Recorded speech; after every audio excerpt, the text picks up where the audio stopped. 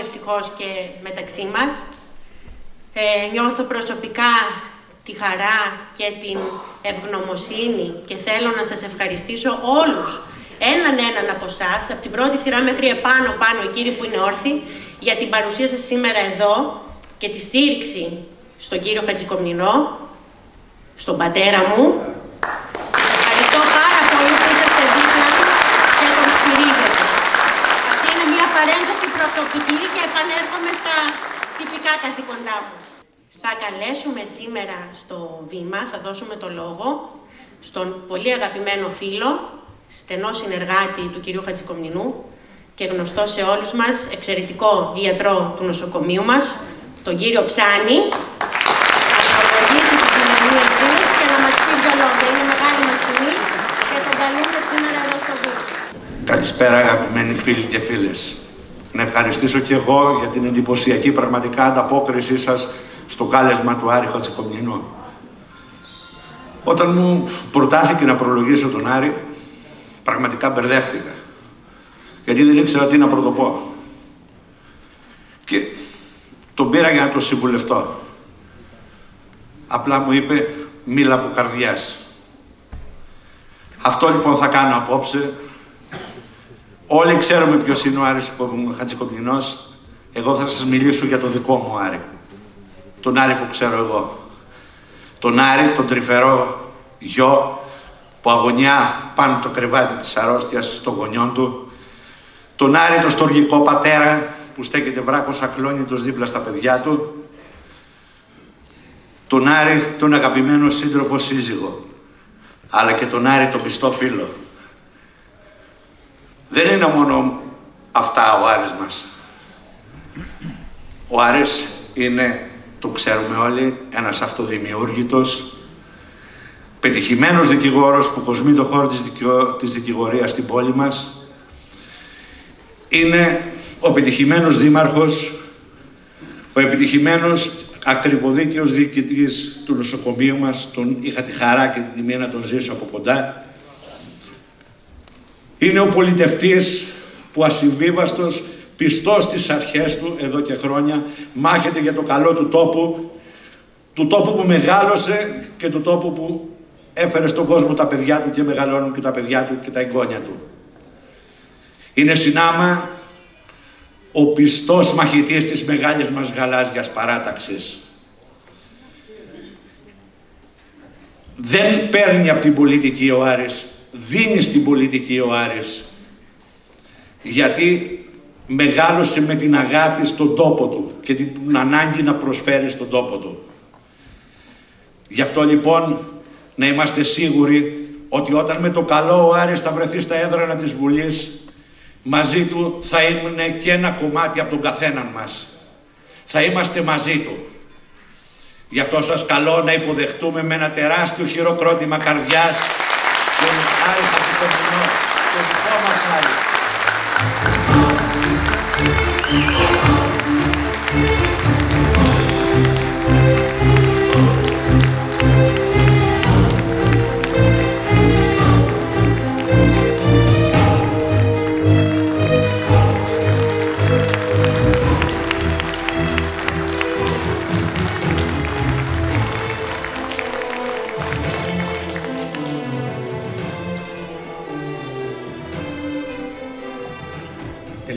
μπόρεσα ποτέ να βγάλω το συνέστημα από τη ζωή μου στην πολιτική. Ευχαριστώ. Ευχαριστώ μέσα από την καρδιά μου που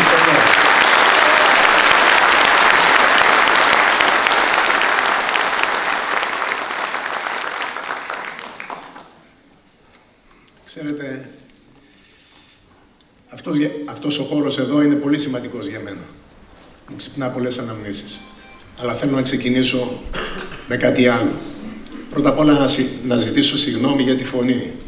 Με ταλαιπωρεί ένα πρόβλημα στις φωνικές χορδές, αλλά θέλω να σας υποσχεθώ ότι αυτή η φωνή που ξέρετε, του Άρη του Χατζικομινού, θα είναι δυνατή, ασυμβίβαστη και ειλικρινής στον αγώνα που δίνουμε για να αλλάξει η μοίρα αυτού του τόπου. Και αυτό είναι μια μεγάλη υπόσχεση που θα την κάνω πραγματικότητα.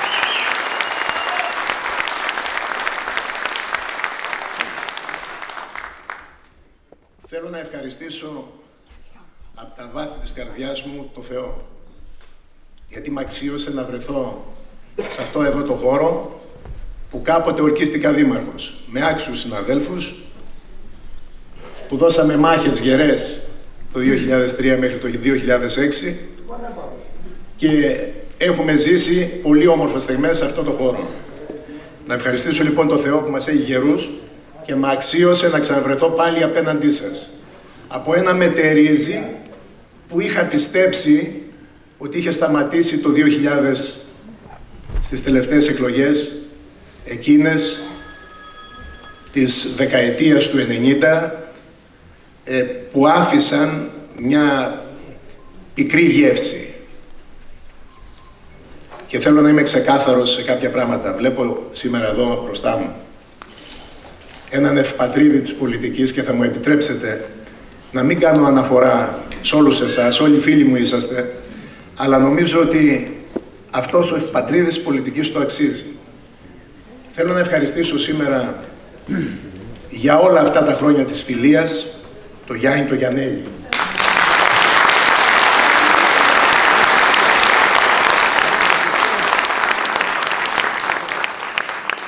Και να μου επιτρέψετε σεμνά και ταπεινά αυτό θέλει και αυτός, αλλά είμαι υποχρεωμένος να πω δύο λόγια για αυτόν.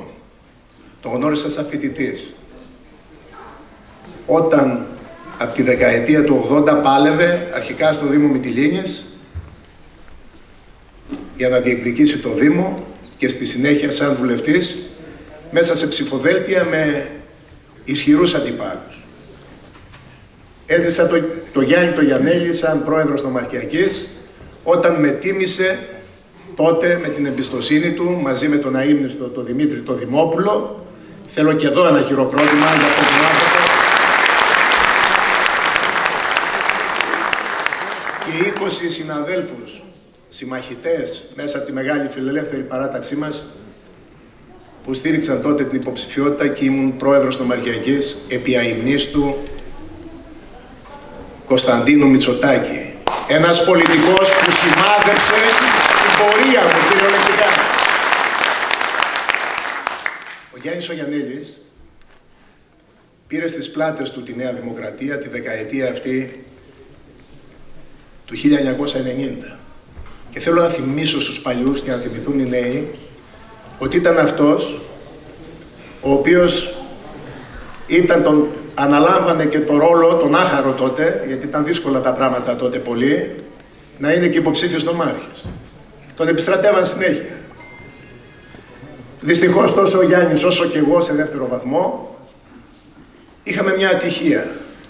Ένας δικός μας εκλογικός νόμος, ενός δικού μας Υπουργού, του Σωτήρη του Κούβελα, καταδίκασε τη Λέσβο χωρίς βουλευτή. Χωρίς βουλευτή σε δύο εκλογικές αναμετρήσεις, το 1996 και το 2000. Ο Γιάννης Ογιανέλης έπαιρνε πάνω από 12.000 σταυρούς, εγώ γύρω στους 8,5 την πρώτη φορά, 7,5 τη δεύτερη και δεν έβγαινε ούτε αυτός βουλευτής ούτε εγώ γιατί η Νέα Δημοκρατία ήταν, δεύτερο, ήταν δεύτερο κόμμα και το δεύτερο κόμμα με αυτό το νόμο στη Λέσβο δεν έβγαζε βουλευτή. 32.000 ψηφοφόροι τότε, νεοδημοκράτες, έμεναν χωρίς εκπροσώπηση στο Εθνικό Κοινοβούλιο. Ο Γιάννης ο Γιαννέλης δικαιώθηκε στις επόμενες εκλογές που ψηφίστηκε και πάλι και μπήκε στο Κοινοβούλιο αλλά συγχωρέστε με. Ξέρετε, έχω μάθει να τα λέω έξω από τα δόντια. Έγινε και η μεγαλύτερη απρέπεια που θα μπορούσε να γίνει σε πολιτικό στο πρόσωπό του. Όταν το 12 ενώ ήταν σε προεκλογικό αγώνα στη Λίμνο, ενημερώθηκε από τους φίλους του ότι δεν είναι στο ψηφοδέλτιο της Νέας Δημοκρατίας.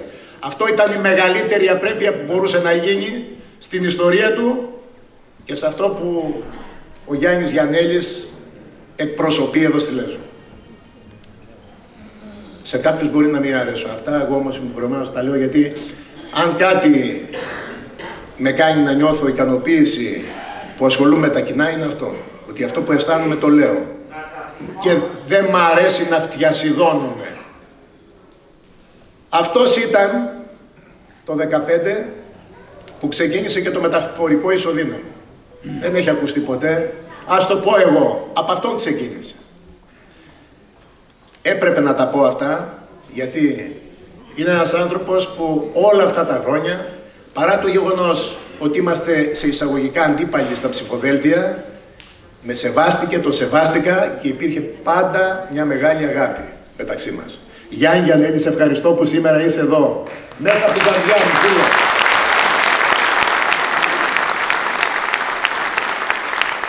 Και ο Θεός να σου δίνει δύναμη να συνεχίσεις το συγγραφικό σου έργο, γιατί προσφέρεις πολλά σε αυτόν τον τόπο, τον αγαπάς και με τις δωρεές που έχεις κάνει και έχεις κάνει το Δημαρχείο μας αυτή τη στιγμή ένα μουσείο που πιστεύω κάποια στιγμή ο Δήμαρχος μπορεί να αποφασίσει και να το ονομάσει Γιάννη Γιαννέλη.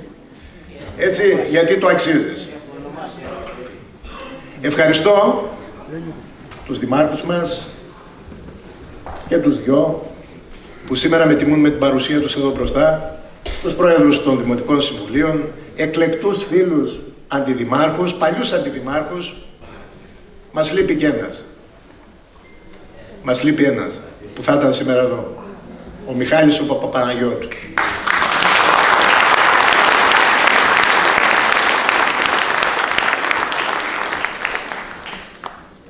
Για να μην σας κουράσω πολύ με τις ευχαριστίες, πρέπει όμως να συνεχίσω τις ευχαριστίες και να πω ότι ευχαριστώ τον Πρωθυπουργό για τη μεγάλη τιμή να με συστρατεύσει σε αυτό τον αγώνα που δίνεται όλο αυτό το διάστημα με καταληκτική ημερομηνία την 21η Μαΐου σημαντική ημερομηνία μιας και είναι Αγίου Κωνσταντίνου και Ελένης για να συνεχίσει η Ελλάδα την πετυχημένη πορεία της όλα αυτά τα χρόνια τα τελευταία, από το 19 μέχρι σήμερα. Μια πορεία που δεν πρέπει να ανακοπεί. Να τον ευχαριστήσω γιατί δεν υπήρχε περίπτωση να μην αποδεχθώ την τιμητική πρόταξη ε, να συστρατευτώ σε αυτόν τον αγώνα. Είναι τιμή για μένα. Τέλος, θέλω να ευχαριστήσω όλους εσάς. Όλους εσάς που σήμερα είστε εδώ. Βλέπω τον Παύλο τον Βογιατζή που είναι εδώ απέναντί μου. Ε, δεν θέλω να πω ονόματα για να μην, για να μην, να μην στεναχωρήσω κάποιον επειδή δεν τον έχω δει. Όλους όσους σήμερα αφήσατε την ησυχία σας και ήρθατε σε αυτό το χώρο να με ακούσετε. Γιατί ξέρετε τελικά τι είναι το σημαντικό; Σε μια προεκλογική ομιλία. Να θυμηθούν οι παλιοί και να μάθουν οι νέοι το ποιον έχουν απέναντί τους. Ευχαριστώ το φίλο μου, τον Γιώργο Τοψάνη για τα καλά του λόγια. Το μόνο που θέλω να πω, αν με ρωτήσετε ποιος είμαι, θα έλεγα ότι είμαι ένα κύτταρο από τη δική μας κοινωνία, ένας άνθρωπος που είχα την ευλογία γεννηθώς σε αυτόν τον ευλογημένο τόπο, ένας άνθρωπος που έζησα όλα μου τα χρόνια σε αυτόν τον τόπο και που σε όλες τις μάχες ήμουνα μαζί σας με τις όποιες δυνάμεις, με τα, με τα όποια θετικά και όποια αρνητικά.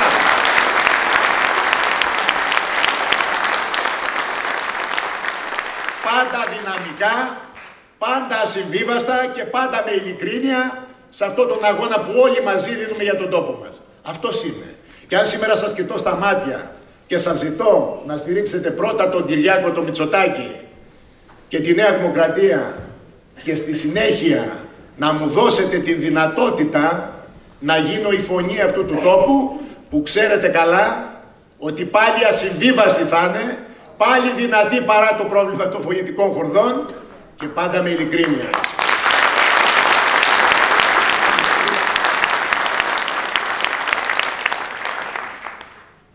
Μιλήσω όπως ακριβώς τα αισθάνομαι. Σήμερα μου ζητήσαν το λόγο, το γραπτό, τα μέσα μαζικής ενημέρωσης και λέω θα έπρεπε να ξέρετε ότι ο Χατζικομινός μιλάει από την καρδιά του. Έτσι μιλώ 40 χρόνια. Δεν θα συστηθώ σήμερα.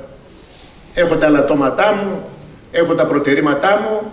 Σημασία έχει ότι δεν είχα ποτέ δύο πρόσωπα και δεν πάτησα ποτέ σε δύο βάρκες. Έλεγα πάντα αυτό που πίστευα ότι ήταν αληθινό και πιστεύω ότι αυτό με δικαίωσε.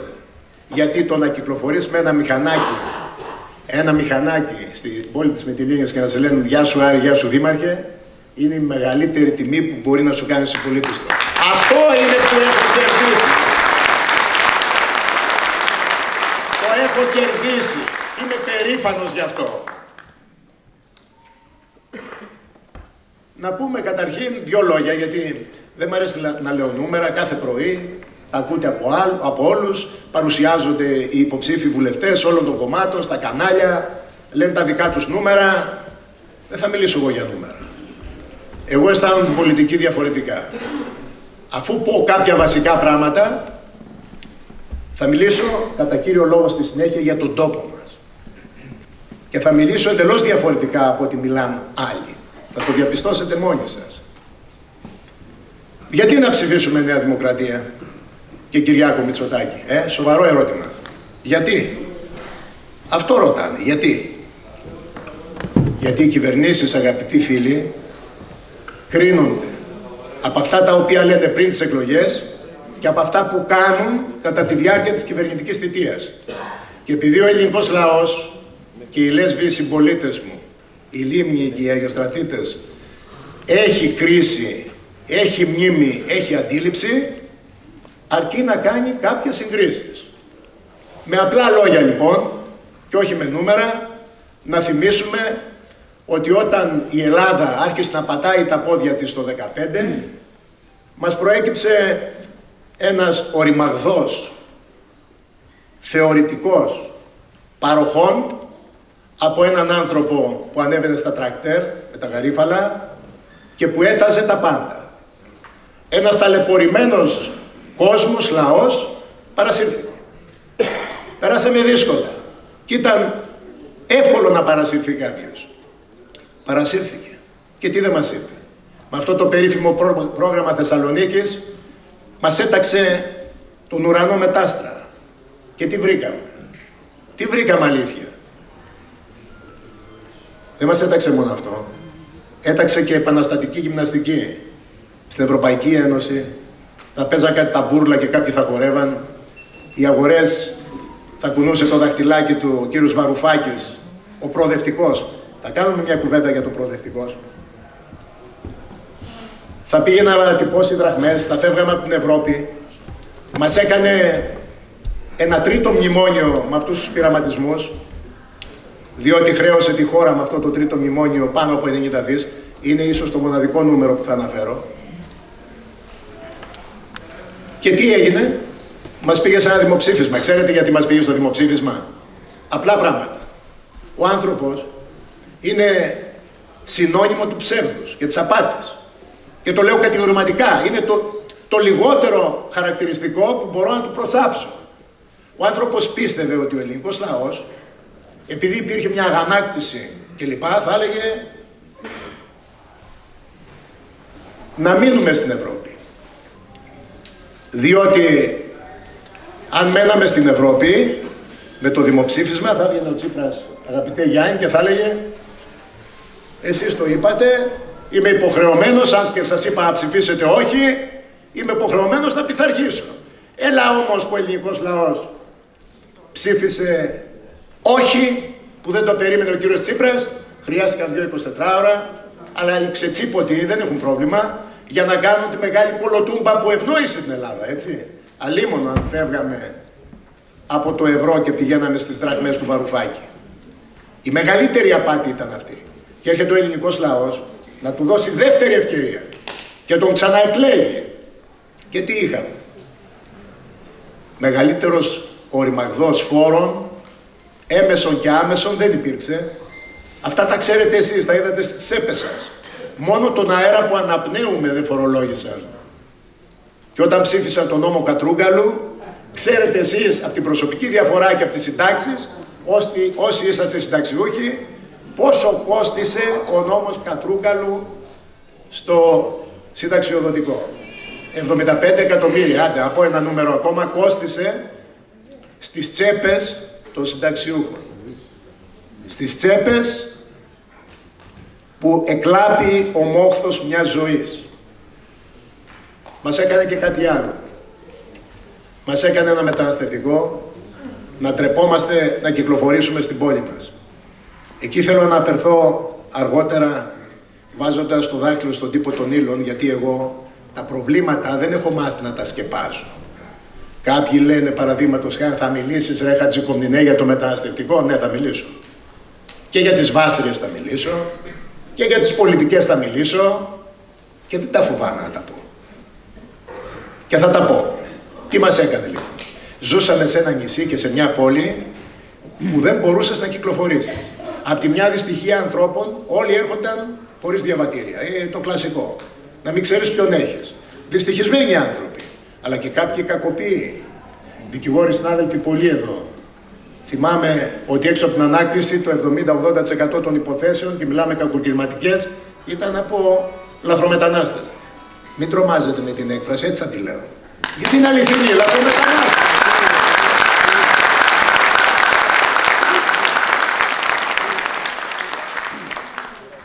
Είχαμε ένα πρωθυπουργό που δεν ήξερε ότι η Μυτιλίνη και η Λέζος είναι το ίδιο. Αλλά αυτό... αυτό δεν ήταν το σημαντικό. Εντάξει, γελάσαμε, δεν ήταν σημαντικό. Αυτό το οποίο ήταν τρομακτικό, είδες, οι φωνητικές χορδές δεν μπορούν να με κρατήσουν. Αυτό που ήταν τρομακτικό ήταν ότι είχαμε ένα προοδευτικό και κάποιους που έλεγαν ότι η θάλασσα δεν έχει σύνορα. Η θάλασσα δεν έχει σύνορα. Αυτά θα έπρεπε τούτοι οι τύποι να ζούσαν, να τα λέγαν στον Παύλο του Κουντουριώτη. Όταν ελευθέρωνε αυτά τα νησιά. Ότι η θάλασσα δεν έχει σύνορα.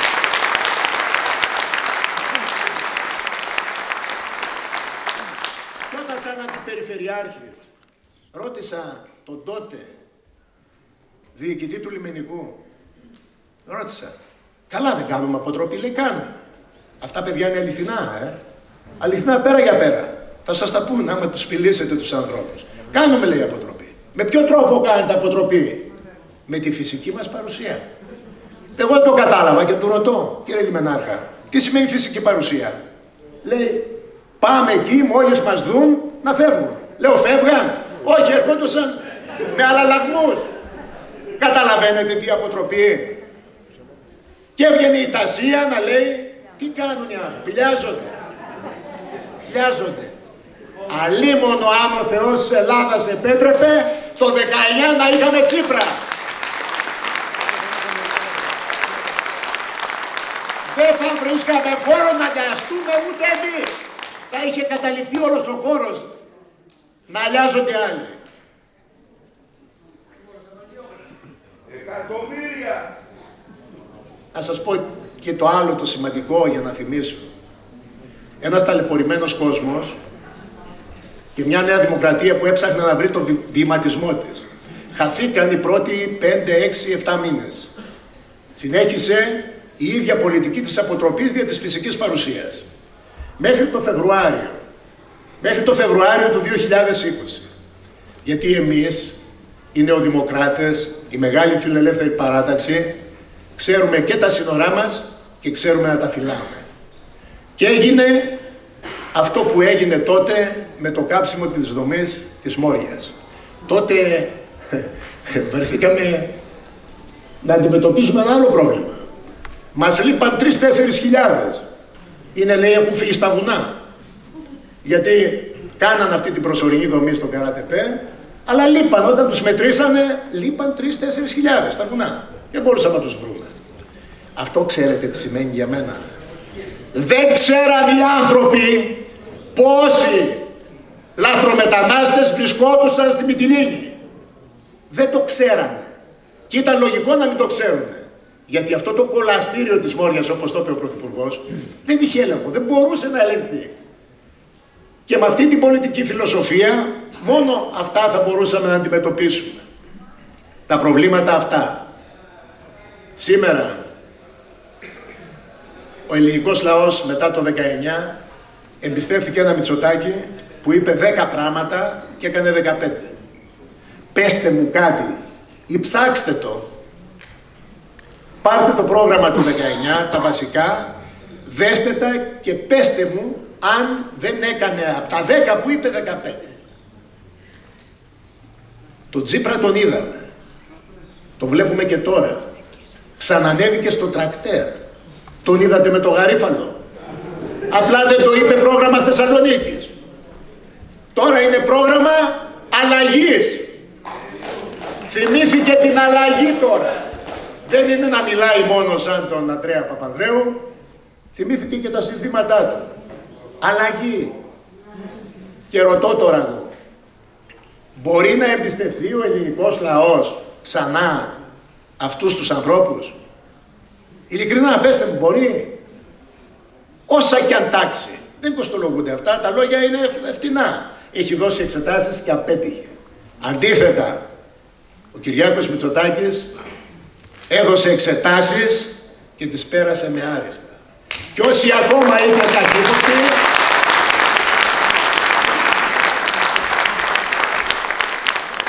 σήμερα δεν μπορούν παρά να παραδεχτούν ότι τα πράγματα έχουν αλλάξει. Έχουν αλλάξει και έχουν αλλάξει πολύ. Τι είπανε τότε, ότι ξέρετε εμείς ε, βρήκαμε τα μνημόνια, τα χρέη, ξεχνάνε ότι χρέωσαν στο υπερταμείο για 99 χρόνια όλο το πλούτο της Ελλάδας, ξέχασαν να μας πούν όλες αυτές τις παρεμβάσεις που έκαναν σε βάρος της μεσαίας τάξης, που οδήγησαν στην εξαθλίωση γενικά του πληθυσμού της Ελλάδας, πέτυχαν όμως κάτι άλλο. Το είχαν στο μυαλό τους φαίνεται και το πέτυχαν, το πέτυχαν. Ξεπούλησαν το όνομα της Μακεδονίας στα Σκόπια. Ναι, το ξεπούλησαν με τη συμφωνία των Πρεσπών. Όταν ο Μητσοτάκης έλεγε ότι μη ψηφίσετε, να μην ψηφιστεί, γιατί αν ψηφιστεί δεν μπορούμε να τα αλλάξουμε. Αλήθεια έλεγε. Αυτοί όμως το ψήφισαν. Και εδώ θα τολμήσω να πω κάτι άλλο. Ευτυχώς που ο Θεός της Ελλάδας δεν τους ξανάβγαλε στην εξουσία. Γιατί ξέρετε τι θα ακολουθούσε μετά την συμφωνία των Πρεσπών; Θα κάναμε μια άλλη συμφωνία. Θα βρίσκανε ένα νέο αποστολάκι που φοράει πλάκα τα, αυτά, τα παράσημα εδώ και τον έχει τώρα υποψήφιο ξανά. Έτσι. Για να μοιράσουν το Αιγαίο κατά τις απαιτήσεις των Τούρκων. Και μην έχετε καμιά αμφιβολία ότι θα το έκαναν. Οι άνθρωποι αυτοί δεν ξέρουν πραγματικά όταν δεν πιστεύουν ότι υπάρχουν σύνορα, δεν ξέρουν που πρέπει να σταματήσουν.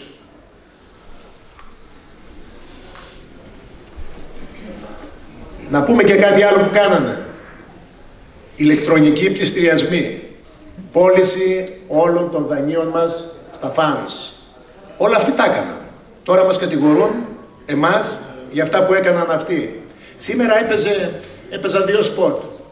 Του Κυριάκου του Μητσοτάκη που έλεγε για τα 200 χρόνια της ιστορίας μας, για τα επιτεύγματά μας, που έβγαζε μια θετική άβρα, μια αισιοδοξία, μια δύναμη, μια πίστη για το μέλλον και ένα μαύρο αντίστοιχο σποτ του ΣΥΡΙΖΑ που έδειχνε, έδειχνε, δηλαδή έδειχνε ακραίες εκφράσεις και πράγματα τα οποία δεν ανταποκρίνουν στην πραγματικότητα. Ακόμα και σε αυτό, την τοξικότητα την οποία μεταφέρουν στην πολιτική ζωή του τόπου, αρκεί, αρκεί να τη συγκρίνουμε για να δούμε με ποιους έχουν να κάνουν.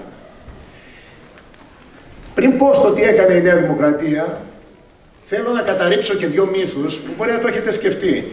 Αλλά μένα με φατσάνισε πολύ. Ακούμε από τότε που καταλάβαμε τον εαυτό μας και βρέθηκαν στην πολιτική σκηνή αυτοί οι κύριοι για προοδευτικούς, προοδευτικές κυβερνήσεις, προοδευτική πολιτική. Αναγκάστηκα, λέω, τόσα χρόνια δεν μάθαμε τι σημαίνει πρόοδος. Και μπήκα στο λεξικό, χτύπησα στο Google, να δω τι σημαίνει ρε παιδί, προοδευτική; Έβαλα προοδευτική, πολιτική, προοδευτική. Άμα μπείτε θα δείτε ότι λέει πρόοδος. Πρόοδος. Κάθε μέρα προοδεύω, προοδεύω. Ποιοι είναι οι προοδευτικοί; Είναι προοδευτικοί οι άνθρωποι αυτοί οι οποίοι οδήγησαν την Ελλάδα εδώ που την οδήγησαν μέχρι το 19 και δεν είναι προοδευτικός ο Μητσοτάκης ο οποίος άνοιξε την αγκαλιά του σε όλο τον κόσμο δεν έκλεισε τις πόρτες της Νέας Δημοκρατίας αλλά είπε λάτε οι άξιοι να προχωρήσουμε την Ελλάδα μπροστά να αποκαταστήσουμε την αξιοπιστία της να σταματήσουμε να είμαστε πέτες στην Ευρώπη και να είμαστε αυτοί οι οποίοι θα προτείνουμε λύσεις και θα εισακούει η Ευρώπη και θα τις εφαρμόζει και για τον εαυτό της. Ποιος είναι ο προοδευτικός; Αλήθεια. Να τελειώσει αυτό το παραμύθι. Και το δεύτερο παραμύθι, που το ακούω να με και τρελαίνομαι. Οι νέοι, λέει, Δημαρχέ, ψηφίζουν ΣΥΡΙΖΑ. Σοβαρά. Εγώ είδα τη ΔΑΠ στη Μυτιλή να παίρνει 58,34%.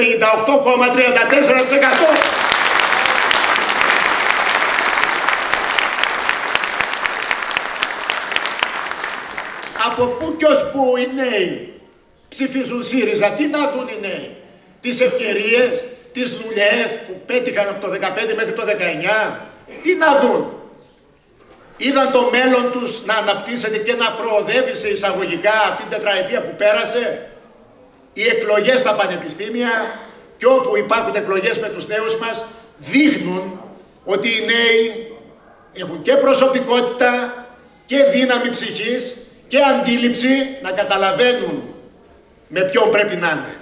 Και με τα αποτελέσματα των τελευταίων εκλογών αποδείχθηκε και στη Λέσβο ότι οι νέοι της Ελλάδας ψηφίζουν Κυριάκο Μητσοτάκη και Νέα Δημοκρατία.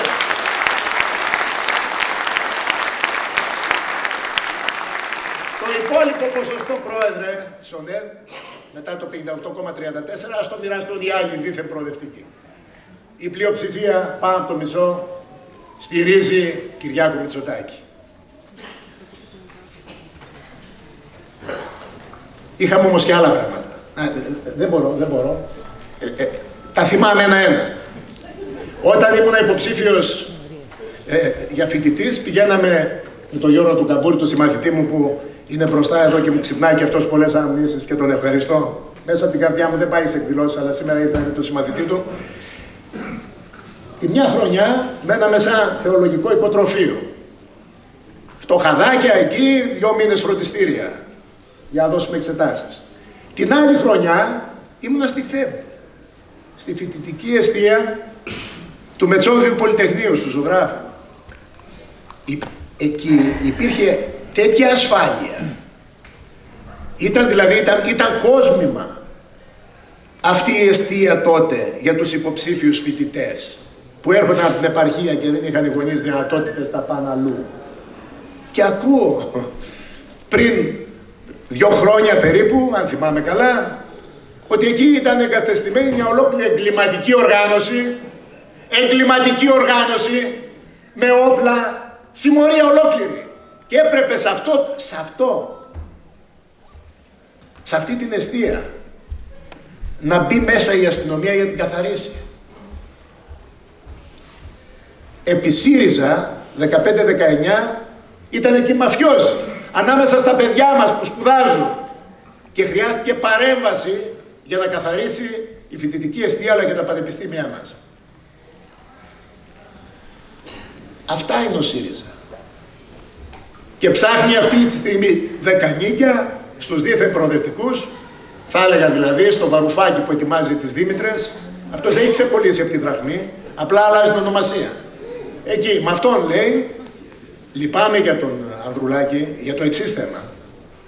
Ως νέο πολιτικό περίμενα ότι αν μη τι άλλο δεν θα φερόταν τόσο αλαζονικά και να κόψει κάθε επαφή και προοπτική συνεργασίας με το να λέει ότι αν ο ελληνικός λαός ψηφίσει με 36-37% το Μητσοτάκι παραδείγματος χάρη, αυτός που θα είναι γύρω στο 10, δεν ξέρω πόσο θα του τιμήσει ο ελληνικός λαός, θα πρέπει να καθορίσει τον Πρωθυπουργό. Δεν ξέρω τι είδους δημοκρατία είναι αυτή. Ειλικρινά. Δικαιοσύνη. Μέσα μαζικής ενημέρωσης. Παπάς.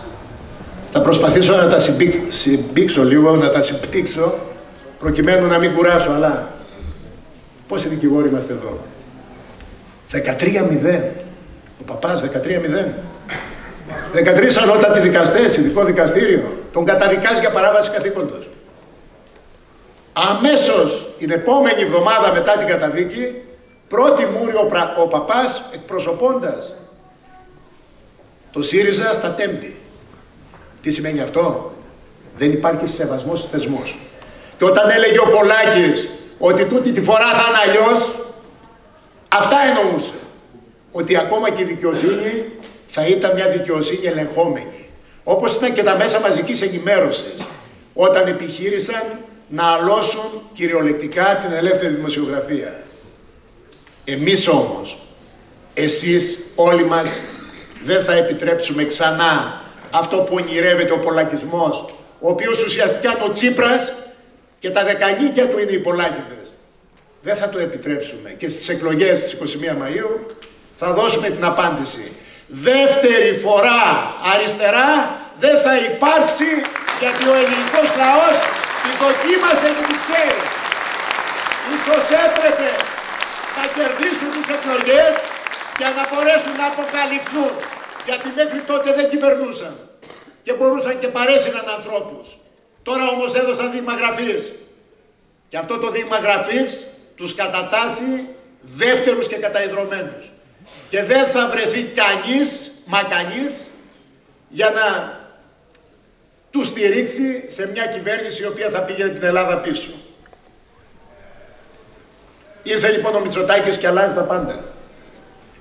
Μείωσε 50 φόρους ασφαλιστικές εισφορές.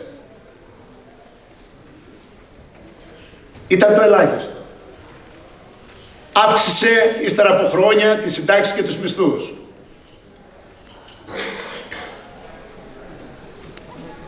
Έκανε την Ελλάδα περήφανη χώρα. Και θέλω να μιλήσουμε με δύο εικόνες. Πρώτη εικόνα.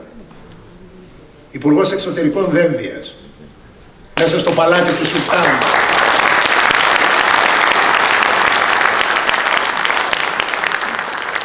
Μέσα στο παλάτι του Σουλτάνου. Για πρώτη φορά ακούστηκαν οι ελληνικές θέσεις. Δημόσια. Δίπλα του. Προσκεκλημένος. Και πέστε μου ποιος από εσάς ή ποιος Έλληνας δεν ένιωσε περήφανος όταν άκουσε το δένδια να κλείνει λέγοντας ότι ξέρεις επειδή έχουμε και ένα δείπνο ελπίζω να το κάνετε επειδή σας στεναχώρησα. Έτσι έκλεισε την ομιλία του. Ποιος δεν αισθάνθηκε περήφανος. Και μια δεύτερη εικόνα. Ένα πρωθυπουργό, ένα Κυριάκο Μητσοτάκη, μέσα σε ένα κογκρέσο μισή ολόκληρη ώρα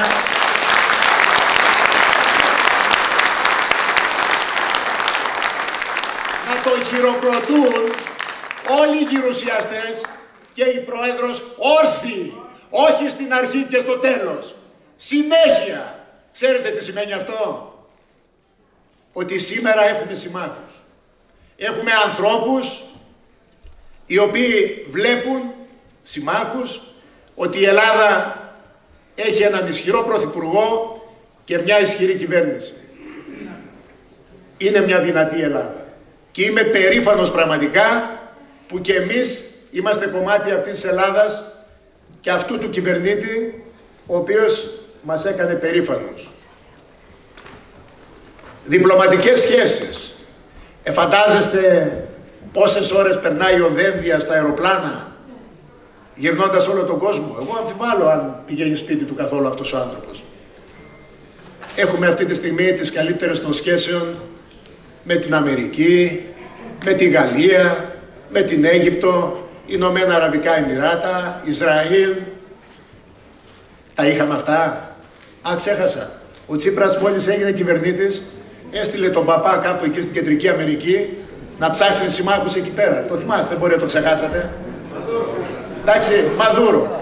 Λοιπόν, αυτές είναι οι διαφορές. Ισχυρή Ελλάδα, περήφανη Ελλάδα. Και να έρθω και στο περίφημο μεταναστευτικό. Ο Μητσοτάκης και η κυβέρνηση το 19 είπε ότι θα κάνει πέντε πράγματα στο μεταναστευτικό, με την κατάσταση την οποία γνωρίζετε. Τα νούμερα τα ακούσατε και τα ξέρετε. Από το 15-19 600.000 λαθρομετανάστες μπήκαν στα νησιά μας.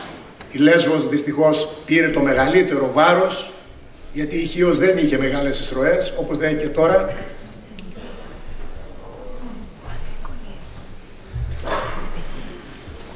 Και είχε υποσχεθεί πρώτον Μείωση του πληθυσμού. Ήταν 25.000, 20.000, κανείς δεν ήξερε πώς είναι. Αυτό πιστεύω εγώ. Έλεγχος των ΜΚΟ, μη κυβερνητικών οργανώσεων, οι οποίες εδώ οργίαζαν. Τρίτον, αιτήσεις ασύλου.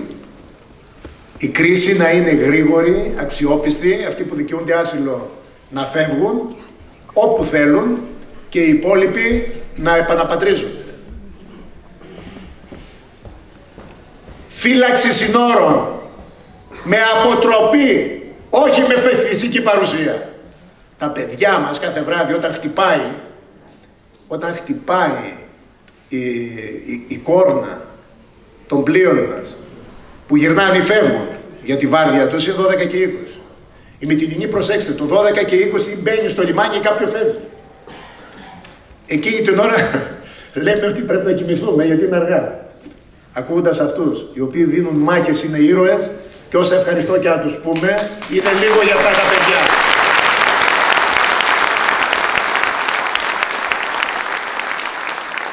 Για το στρατό μας, για την αστυνομία μας, για το πολεμικό ναυτικό, φύλαξη συνόρων. Και το τελευταίο, αγαπητοί φίλοι, ήταν κλειστές ελεγχόμενες δομές. Το είπε και ψηφίστηκε. Γιατί κλειστές ελεγχόμενες δομές; Για πολλούς λόγους. Ο κυριότερος. Να μην ξαναζήσει ποτέ η Λέσβος, ούτε άλλο σημείο της Ελλάδας, τις τραγικές εικόνες που ζήσαμε όλα αυτά τα χρόνια. Μέσα στο Δημοτικό Θέατρο, στους κήπους, στις πιλωτές, στα λιμάνια μας, αυτό το χαμό να μην τον ξαναβιώσει η Ελλάδα. Να γιατί κλειστές ελεγχόμενες δομές.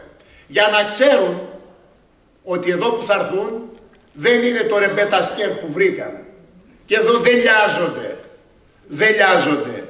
Έχει σύνορα η Ελλάδα, ξέρει να τα φυλάσει, δίνει ανθρωπιά. Δεν είμαστε απάνθρωποι. Υπάρχουν δυστυχισμένοι άνθρωποι.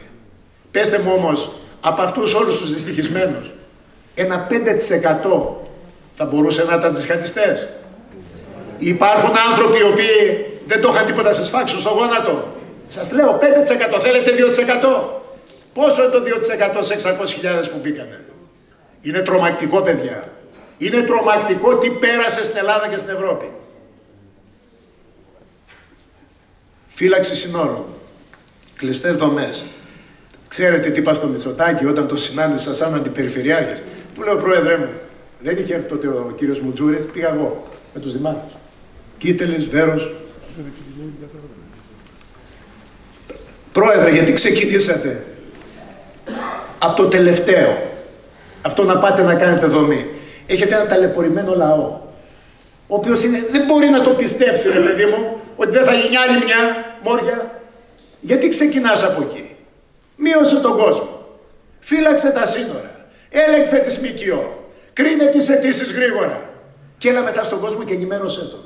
Για να την κάνεις στην ελεγχόμενη δομή εκεί που θέλει να την κάνει ο κόσμος. Εγώ δεν θα βάλω το όνομα. Εγώ μιλάω για κλειστές ελεγχόμενες δομές. Αν η ελεγχόμενη δομή λέγεται Βάστρια, λέγεται, λέγεται Πολυγνήτος, λέγεται Άγρα, δεν ξέρω τι, δεν μένω εκεί. Ξέρετε γιατί. Δεν μπορούμε να συμφωνήσουμε ποτέ, ποτέ σε ένα χώρο. Δεν μπορούμε να συμφωνήσουμε.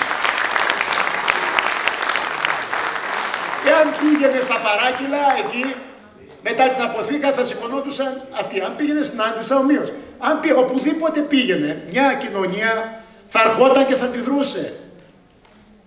Καλοί μου φίλοι, αν η Μυτιλίνη είναι καταδικασμένη και θα τα πω μετά, οφείλεται στην οτροπία μας να εμποδίσουμε την κατασκευή ενός σύγχρονου εργοστασίου της ΔΕΗ επειδή δεν βρίσκαμε θέση.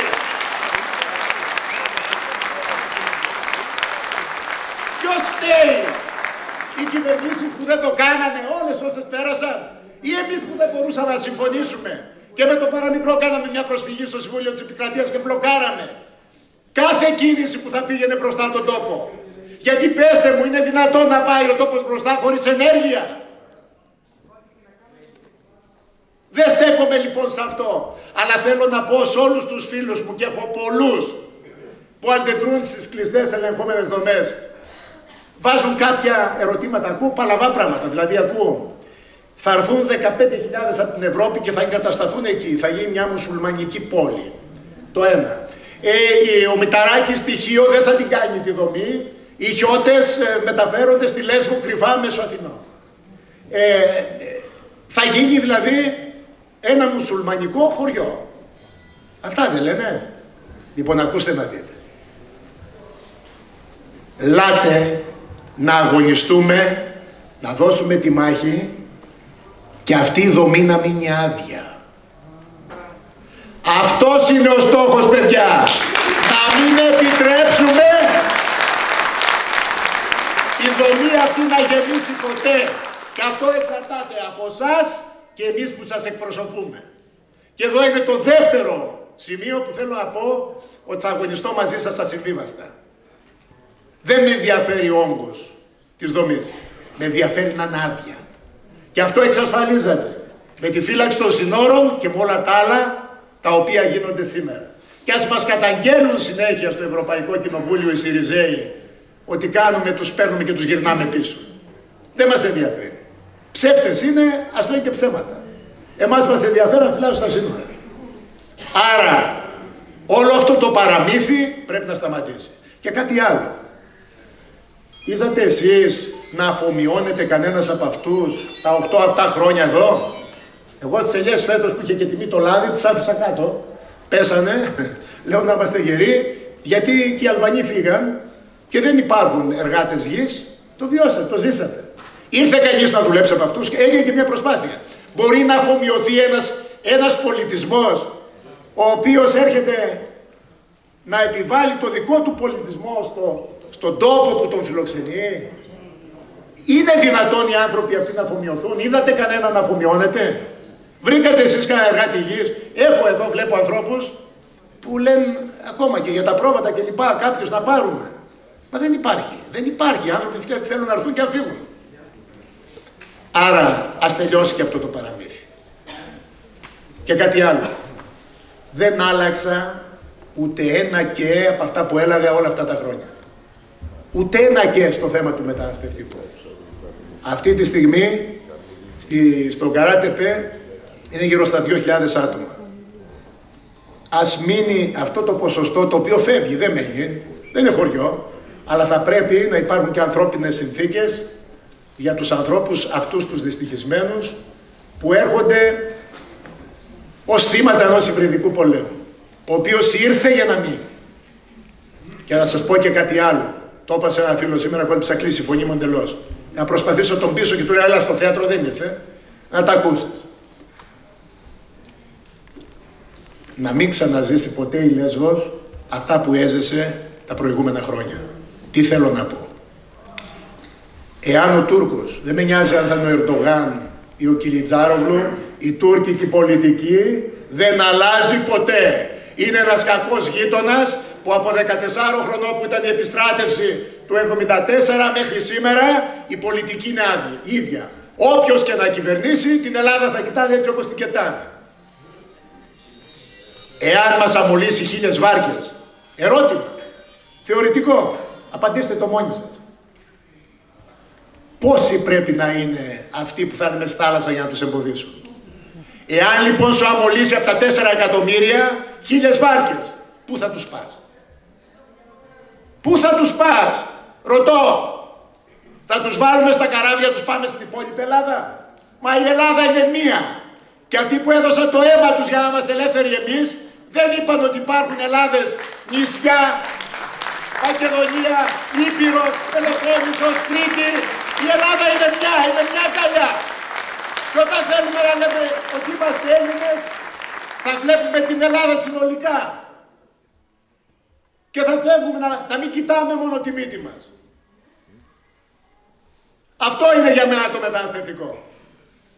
Και όσο και αν μας πολεμήσουν, εμείς θα συνεχίσουμε την πολιτική της φύλαξης των συνόρων και τα 140 χιλιόμετρα του τείχους του Εύρου θα ολοκληρωθεί. Παρά τις προσπάθειες που γίνανε να μην χρηματοδοτηθεί από την Ευρώπη.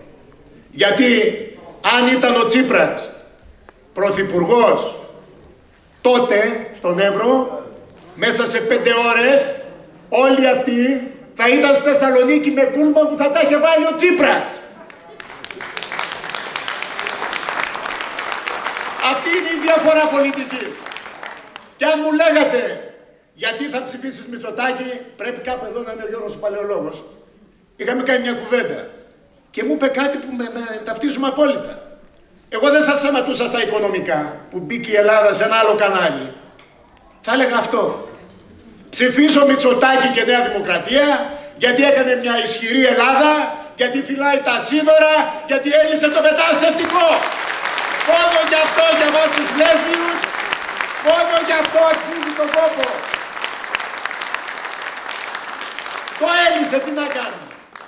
600.000 αυτοί, 12.000, 10-12.000 εμείς. Με στοιχειώδη πράγματα. Μόνο και γι' αυτό, μόνο γι' αυτό. Αυτό είναι μια ελληνική σημαία στις συγκεντρώσεις που δεν υπάρχει. Μόνο κομματικές. Έτσι δεν πάει. Αυτοί δείχνουν τον αντεγγυλισμό Έτσι.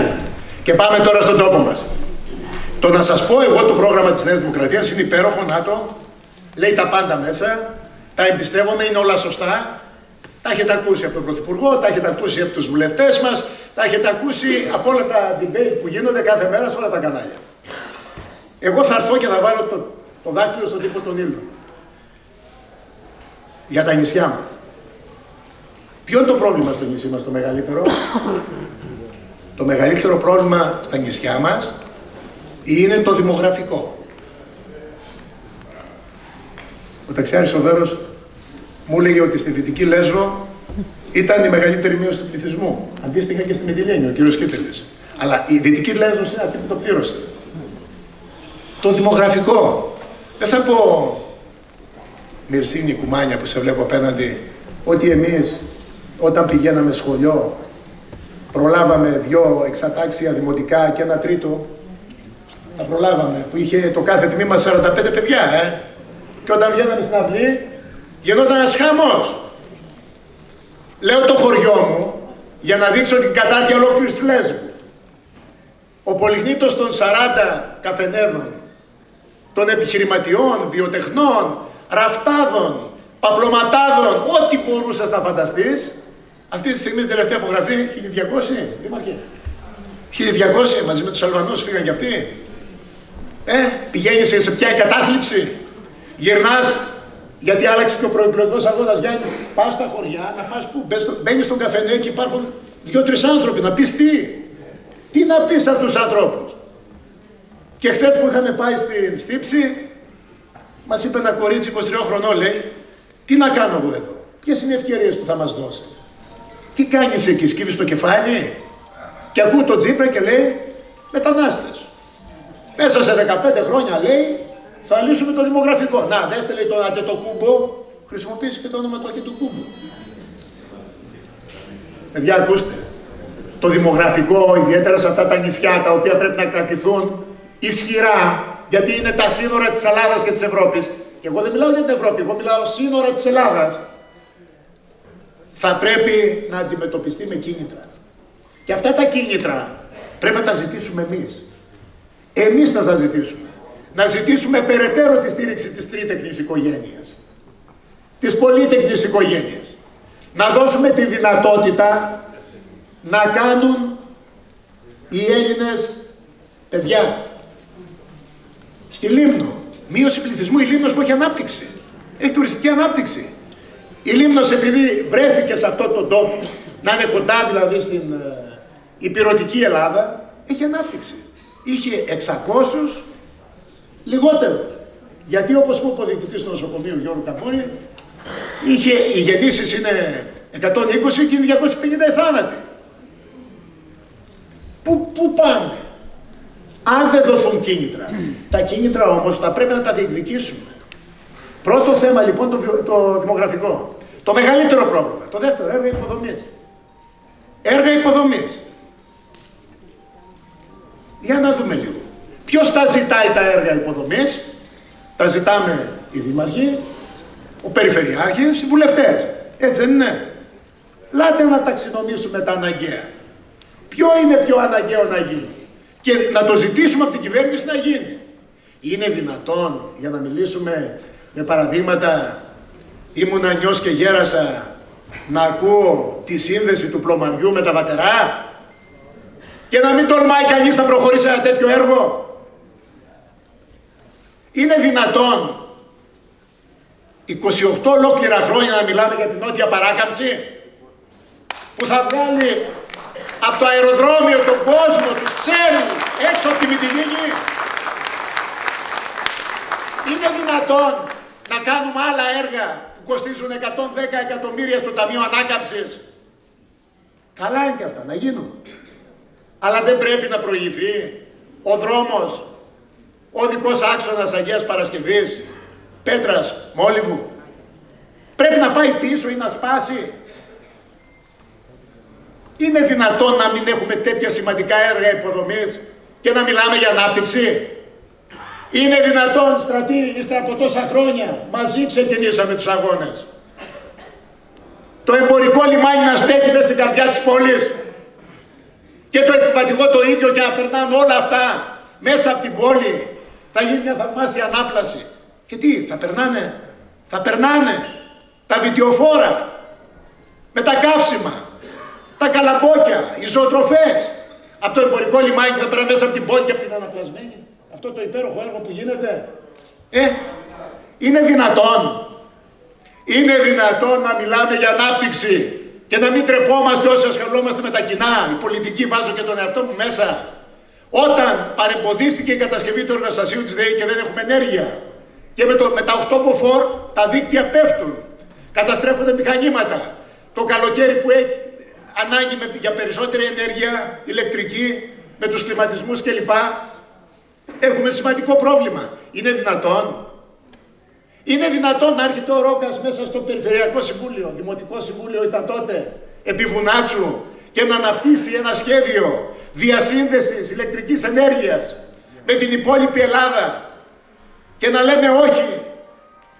Να λέμε όχι σε οτιδήποτε γίνεται, λέμε όχι. Είναι δυνατόν να γίνεται το πρώτο βήμα στο θερμαλισμό, να κάνει ο Δήμαρχος την απόφαση, να παίρνει την απόφαση να υπογράψουμε έναν άνθρωπο που θα βάλει τα λεφτά του και να κάνουμε δυόμισι μήνες να υπογράψουμε το συμβόλαιο γιατί παντού εμπόδια. Πώς θα αναδειχθεί αυτός ο τόπος; Είναι δυνατόν να καταλήξω στα προβλήματα αυτά που έχει ο τόπος μου; Να έχεις διασύνδεση με, τα, με την ε, υπηρετική Ελλάδα, με πλοία; Δεν είναι ότι καλύτερο. Το Μύκονος είναι ένα. Τα υπόλοιπα; Και πότε; Επιδοτούμενες γραμμές, επιδοτούμενες γραμμές, ελάχιστες μόνο το χειμώνα. Το καλοκαίρι κόβονται. Με συγχωρείτε πάρα πολύ.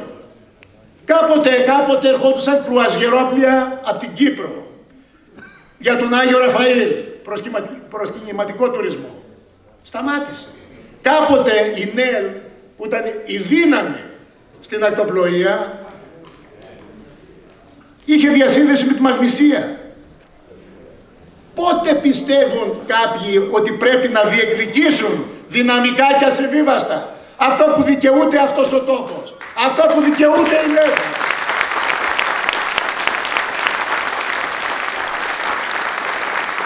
Τρέπομαι να πω για ανάπτυξη. Η λέξη δεν έχει περιεχόμενο εδώ στη Λέσβο.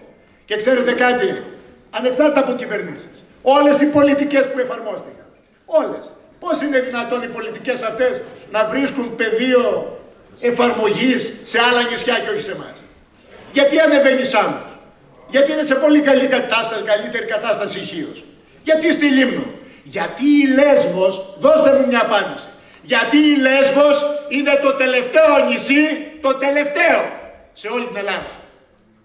Έχει αντιρρήσει κανείς; Έχει αντιρρήσει κανείς για αυτό που λέω; Ποιος στέει λοιπόν, οι κυβερνήσεις; Όχι, εμείς φταίμε. Κοινοτροπία μας. Εμείς κοινοτροπία μας.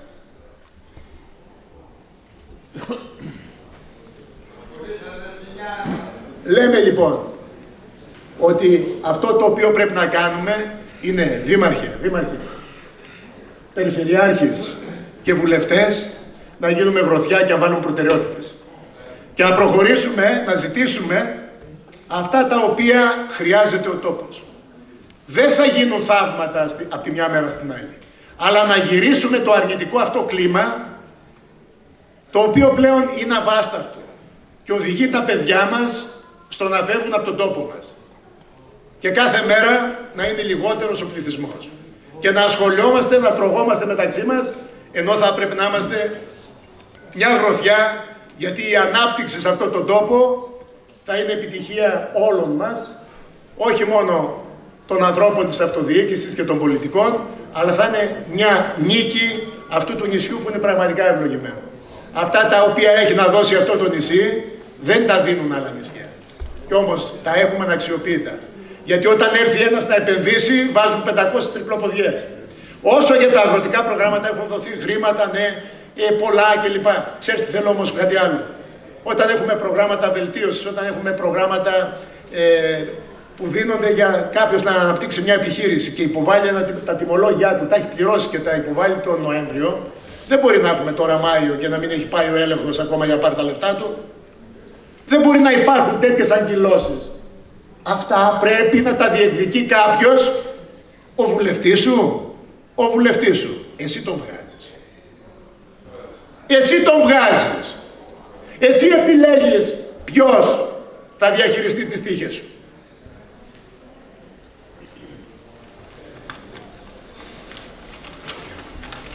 Δεν ξέρω αν μπόρεσα να καλύψω όση ώρα και αν μιλώ. Μπορεί να σας μιλάω μέχρι αύριο το πρωί, γι' αυτό θα, θα σταματήσω.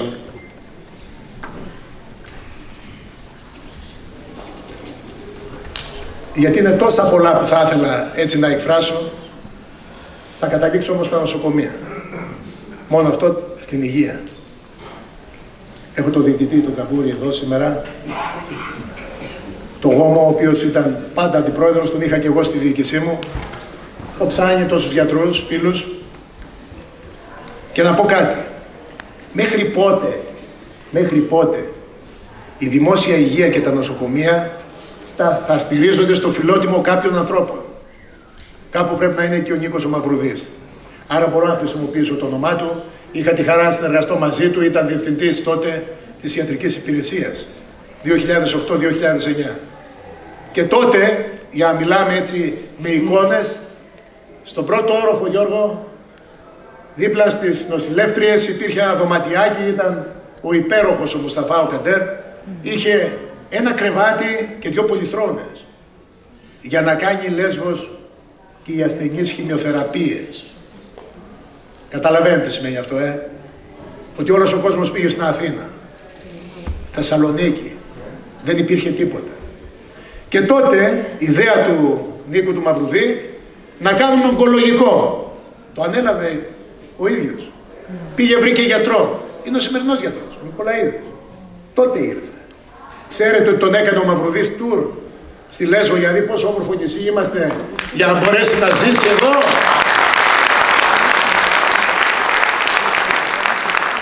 Ε. Και ήρθε και έγινε το ογκολογικό αυτό. Αυτό που υπάρχει σήμερα. Καμπούρι. Αιμοδυναμικό. Βρέθηκε ένα παλικάρι με την αγάπη του Καμπούρι για το νοσοκομείο και του στρατηγού μας του Στεφανή. Έτσι και ήρθε ένα παλικάρι που ήταν, ήταν ευτυχία για αυτόν τον τόπο, έτσι. 400, αν δεν κάνω λάθος, τώρα θα έχει ανέβει ο αριθμός, 400 στεφανιογραφίες στη Λέσβο. Ξέρετε που πηγαίναν όλοι αυτοί οι άνθρωποι, ανάλογα ποιο γιατρό είχαν. Άλλος τους έστελνε στο Ιπποκράτιο, άλλος στο Νίμιτ, άλλος ανάλογα που, που ο καθένας. Ε, έξοδα, ταλαιπωρία. Εντάξει. Βρέθηκε όμως, ήταν, ήταν το φιλότιμο, ήταν ο Μίλκας. Ο Γόβος, ο αιματολόγος. Αυτό δεν σημαίνει ότι όλοι οι άλλοι γιατροί μας δεν είναι εξαίρετοι. Εξαίρετοι είναι όλοι. Μιλάω για κάποιες ειδικότητες οι οποίες μας λείπαν Γιώργο. Εντάξει, μας λείπανε. Βγάζει το νοσοκομείο, βγάζει προκηρύξεις γιατρών. Έβγαλε ο διοικητής της Λίμνου προκήρυξη για αναισθησιολόγο. Δεν πάει κανείς. Μα ξέρετε, άμα είσαι αναισθησιολόγο, άμα δεν έχει το Ευαγγελισμός, θα πάει στο Ιπποκράτιο, δεν κάνει την επέμβαση. Στο Νίμι, δίπλα, σε ένα χιλιόμετρο. Εδώ ο μαύρος ο αν δεν έχει αναισθησιολόγο και πρέπει να χειρουργηθεί, πρέπει να βάλουμε μέσον να έρθει η Ντακότα, να τον πάρει, να πάει να χειρουργηθεί στην Αθήνα. Τι πρέπει να γίνει εκεί; Υπάρχουν, είναι ένας από τους βασικούς άξονες της πολιτικής νέας δημοκρατίας, είναι η υγεία.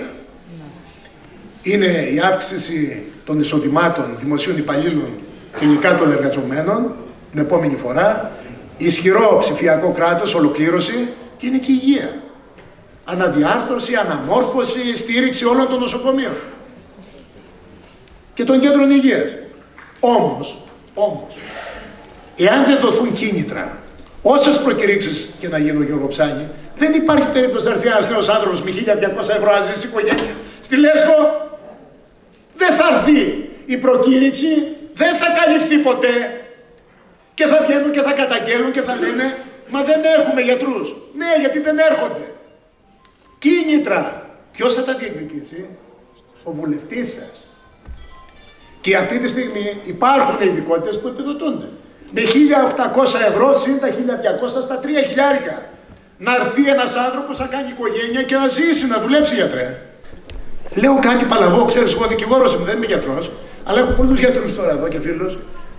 Αν δεν του δώσεις κίνητρο, πώς θα έρθει; Δεν θα έρθει ποτέ. Λοιπόν, ωραία. Συμφωνώ. Αλλά η Νέα Δημοκρατία και ο Πρωθυπουργός που τα αυτιά του τα έχει ορθάνυχτα θέλει αυτό.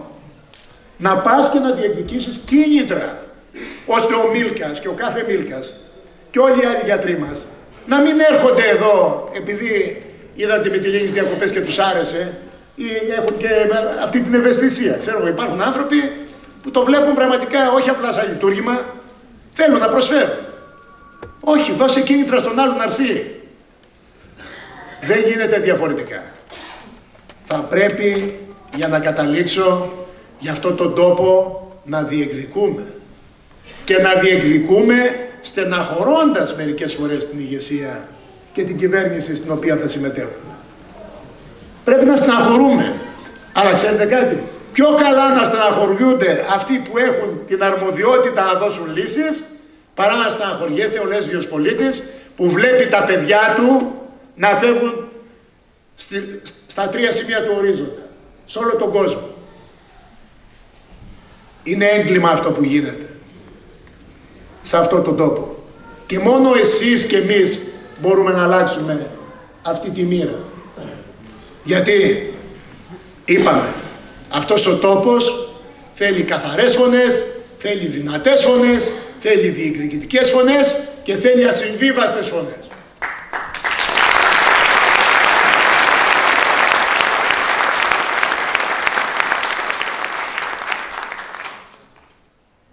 Θα έλεγα και κάτι άλλο πριν κλείσω, το οποίο κάποιοι μπορεί να μην το ασπάζεστε, εγώ όμως το πιστεύω ακράδαντα. Το 1993 ήμουν πρόεδρος του Μαρχιακής. Πρωθυπουργός ο Κώστας Μητσοτάκης. Η Ελλάδα είχε μπει σε τροχιά ανάπτυξης. Ανακόπηκε η πορεία της χώρας. Όταν χάσαμε το Σιμίτι. Γιατί ο ελληνικός λαός, όχι δεν χάσαμε το Σιμίτι, από τον Ανδρέα Παπανδρέου χάσαμε. Από το Σιδερένιο. Το πιστεύω ακράδαντα, δεν ξέρω πόσοι από εσάς το πιστεύετε. Εάν φίλε Γιάννη και ο Κωνσταντίνος Μητσοτάκης κυβερνούσε την Ελλάδα και την επόμενη τετραετία, εγώ τουλάχιστον προσωπικά πιστεύω ότι η Ελλάδα δεν θα μπαινε ποτέ στα μνημόνια.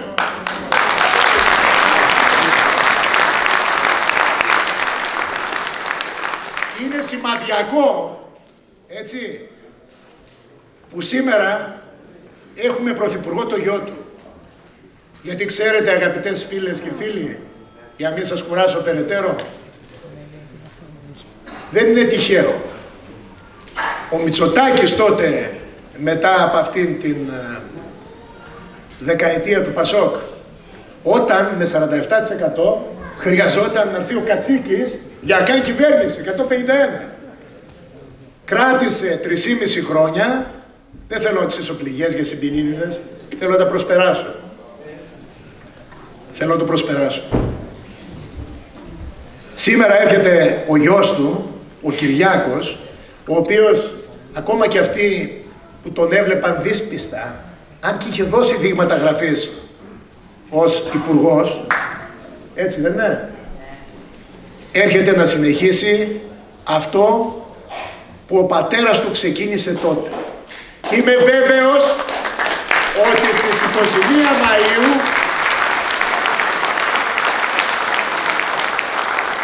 θα επιλέξουμε και εμείς με την ψήφο μας Πρωθυπουργό και κυβέρνηση που θα διατηρήσει τη χώρα σε τροχιά ανάπτυξης, σταθερότητας, εμπιστοσύνης, αξιοπιστίας και ασφάλειας. Πολύ σωστά. Και ασφάλειας. Είναι όλα αυτά τα οποία μπορείς να βάλεις ως επίθετα δίπλα στον Κυριάκο, τον Μητσοτάκη και στην κυβέρνησή του. Άρα στις 21 του μηνός ψηφίζουμε Νέα Δημοκρατία και Πρωθυπουργό του Κυριάκο Μητσοτάκη.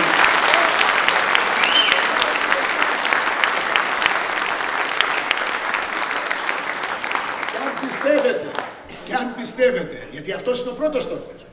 Αυτός είναι ο στόχος. Αυτός είναι ο στόχος και μετά το ποιος θα εκλεγεί βουλευτής. Για να σας πω κάτι. Αν δεν βγει κυβέρνηση Νέα Δημοκρατία, είναι πολύ άχαρος ο ρόλος του βουλευτή. Εύκολος μεν, να κάνει αντιπολίτευση, αλλά δεν είναι χρήσιμος για τον τόπο του. Επέτρεψέ μου τώρα, θα το πω αυτό που μου είπε ένας καλός μου φίλος. Αν πιστεύετε ότι η φωνή σας μπορεί να εκφραστεί από έναν άνθρωπο και συγχωρήστε με δεν αλλαζονεί αυτό που 40 χρόνια είναι στην πρώτη γραμμή των αγώνων σε αυτό το τόπο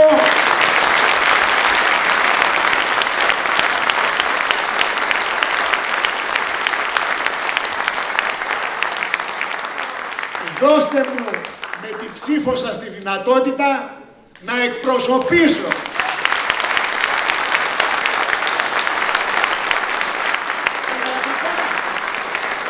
ασυμβίβαστα και με την απόλυτη αλήθεια που πάντα απέναντί σας εξέφρασα και είναι αυτό το οποίο μας συνδέει έστω αν κάποτε γίνομαι δυσάρεστος γιατί άμα λες αλήθειας γίνεσαι δυσάρεστος Δώστε μου τη δυνατότητα να γίνω η φωνή σας. Να ξέρετε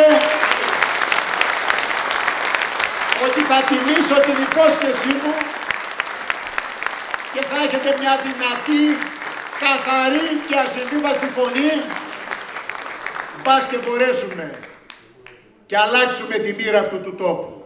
Γιατί από εμάς εξαρτάται. Και ας μην ρίχνουμε το ανάθεμα πάντα στους άλλους. Εμείς είμαστε οι υπεύθυνοι, εσείς, εγώ, εμείς, για τον τόπο μας. Και να μην αφήσουμε την τύχη αυτού του τόπου σε άλλους να τη ρυθμίσουν και να την κανονίσουν. Κάτι πρέπει να αφήσουμε στα παιδιά μας. Και δεν θέλω να ξανακούσω 23χρονο κορίτσι στη στύψη εγώ να κάνω τι εδώ τώρα και να σκύβεις το κεφάλι και να μην μιλάς και να μην φοβόμαστε, να μην φοβόμαστε τις αξιολογήσεις γιατί πρέπει να γίνουν παντού γιατί αν τα τέπη ήταν μια βραδιφλεγή χειροβομβίδα που έτυχε να σκάσει στα χέρια μας, αυτό δείχνει τις τεράστιες παθογένειες ενός κράτους που είμαστε υποχρεωμένοι να τις εξαλείψουμε. Και ένας τρόπος για εξαλειφθεί είναι η συνεχής αξιολόγηση.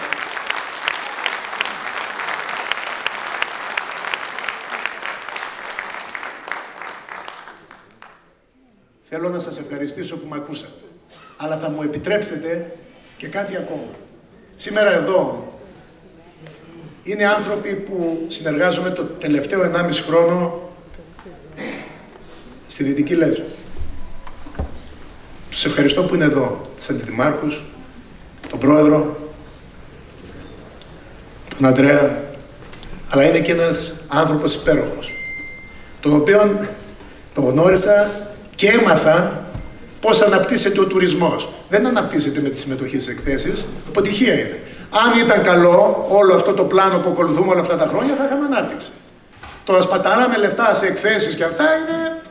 Τι θέλουμε, ανθρώπους του τουρισμού, θέλουμε ανθρώπους οι οποίοι είναι σε αυτό το αντικείμενο γνώστες, επιστήμονες πραγματικοί, και αυτοί να καθορίζουν την πολιτική της τουριστικής προβολής και να αλλάζουν όταν βλέπουν ότι δεν αποδίδουν τα σχέδια.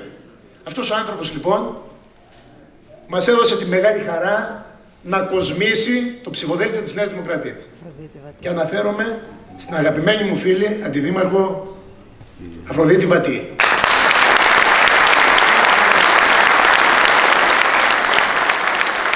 Ξέρω ότι θα δυσκολευτεί, αλλά θα κατέβω εκεί να τη βοηθήσω να ανέβει στη σκάλα. Ξέρετε γιατί; Γιατί αξίζει, αξίζει το χειροκρότημά σας και θα είναι μεγάλη τιμή για μένα, γιατί αυτό σηματοδοτεί την ενότητα αυτής της παράταξης που με ένα ισχυρό ψηφοδέλτιο με πέντε άξιους συγκυποψηφίους θα δώσουμε τη μάχη στις 21 Μαΐου και θα την κερδίσουμε. Μπράβο!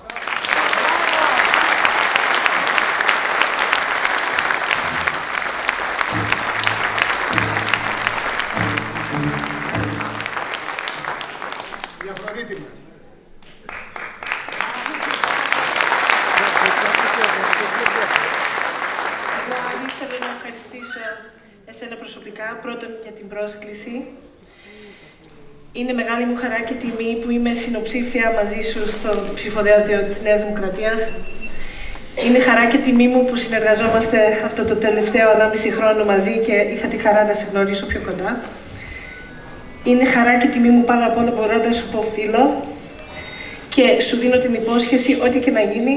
Εγώ θα είμαι εδώ πέρα για να αγωνιστώ όπως αγω- αγωνιζόμαστε μαζί τόσο καιρό για να αλλάξουμε αυτόν τον τόπο έτσι που θέλουμε εμείς.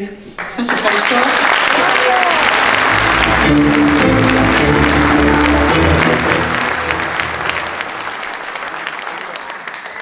Και θα πω και κάτι τελευταίο. Είναι μεγάλη υπόθεση όλοι εσείς την Τετάρτη να πάτε να ξανάρθετε σε αυτό το χώρο να ακούσετε τον Αντιπρόεδρο της Βουλής τον άλλο υποψηφιό μας τον κύριο Αθανασίου. Να είστε εδώ. Και την Τετάρτη